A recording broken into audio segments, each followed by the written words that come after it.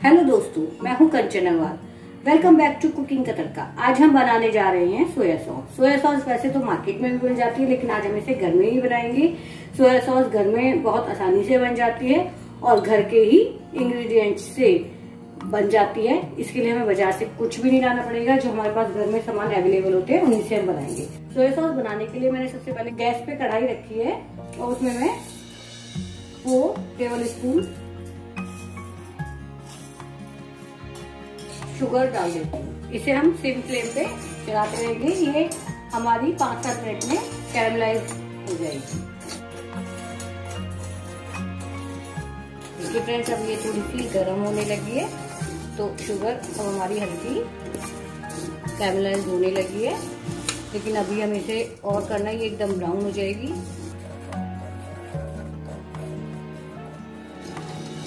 अभी हमारी sugar melt होने होने शुरू हो गई है।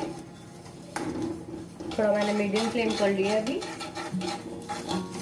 क्योंकि मैं इसे लगातार चला रही हूँ।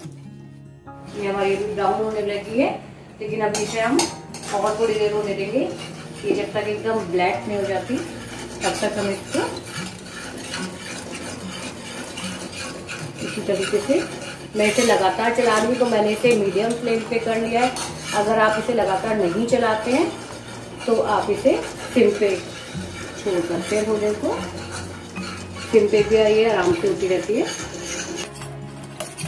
Soya sauce manchurian fried rice noodles और भी बहुत सारी चीज़ बनाने में काम आती है। फ्रेंड्स अभी हमारी शुगर कैमलाइज हो चुकी है एकदम डार्क ब्राउन हो चुकी है और इसमें बबल्स भी अच्छे से आ रहे हैं। अब इसमें हम फोर कप ये छोटा कप जो होता है फोर कप पानी ऐड कर देंगे।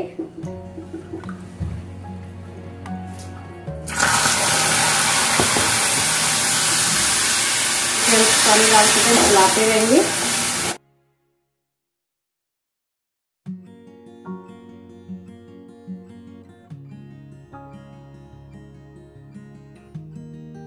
गैस को मैंने तेज कर दिया। अब मैं इसमें half tablespoon salt add कर देती हूँ।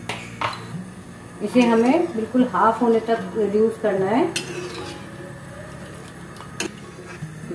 इसे एक बार बॉईल आने के बाद हम इसे सिम फ्लेम पे छोड़ देते हैं और ये अपने आप से होती रहेगी।